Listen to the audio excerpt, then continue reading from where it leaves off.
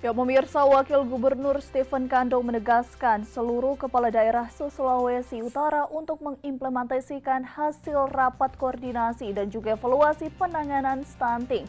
Kando juga meminta kepala daerah untuk kerja keras turunkan angka stunting sesuai target di angka 17 persen pada akhir 2023.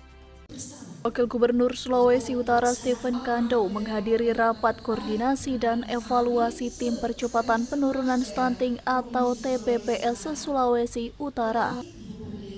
Kegiatan ini berlangsung di Hotel Desentra Manado, Jalan Insinyur Soekarno Maumbi, Kecamatan Kalawat, Kabupaten Minahasa Utara pada Rabu 18 Oktober 2023. Dalam kesempatan tersebut, Wakil Gubernur menegaskan kepada seluruh kepala daerah Sulawesi Utara untuk mengimplementasikan hasil rapat koordinasi dan evaluasi penanganan stunting. Stephen menjabarkan penanganan stunting tahun ini menurun 20 persen dari tahun sebelumnya yaitu 21 persen.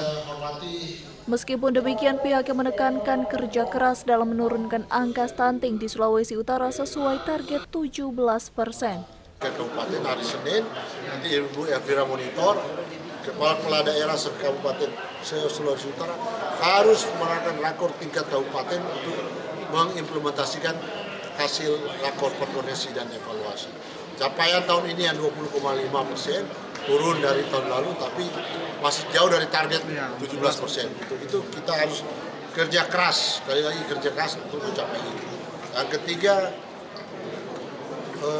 alokasi-alokasi dana ini sudah sangat signifikan.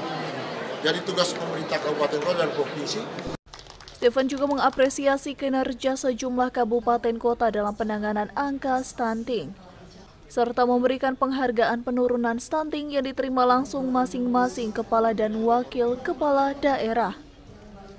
Tim Liputan Kawanua TV